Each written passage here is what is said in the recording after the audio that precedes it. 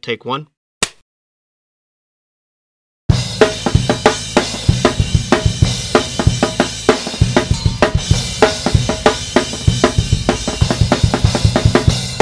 Halo, balik lagi sama gua Eno Netral dan masih di The Drum Heroes. Minggu lalu gue udah ngasih tahu untuk warming up level beginner. Nah, untuk sekarang gue bakalan ngasih tahu di level intermediate dengan teknik yang berbeda.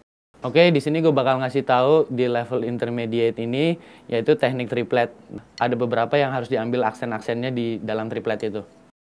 Dan di sini gue bakal ngasih tahu versi lambatnya dulu.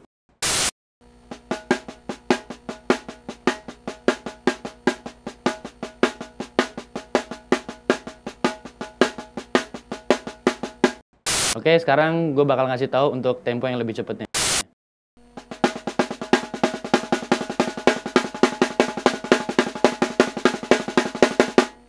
Oke, untuk tips dan trik uh, dari teknik triplet ini, gue cuma pengen ngasih tahu intinya itu lo lancarin dulu di single stroke-nya dan setiap di stroke ketiga itu lo kasih aksen. Contohnya misalnya di single stroke-nya.